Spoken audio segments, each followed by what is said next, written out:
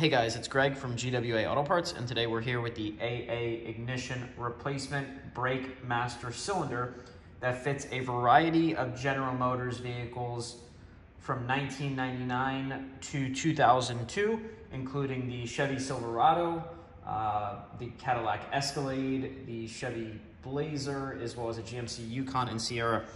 Um, so the brake master cylinder is actually located uh, in the engine compartment and it's going to sit right in front of the driver. Uh, and what happens is, is the brake pedal of the vehicle connects to this. And when you press the brake pedal, uh, it pushes the cylinder here and then fluid comes out here and goes to your ABS module to control your brakes. So this is a complete replacement kit. Uh, it includes the master cylinder. It includes the fluid level sender for the reservoir. The reservoir is also included. Um, and it also includes a cap for the reservoir as well.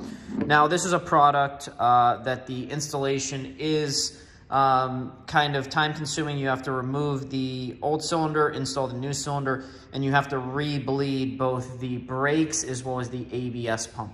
So we definitely recommend uh, you're familiar with changing out brake components if you're going to install this on the vehicle.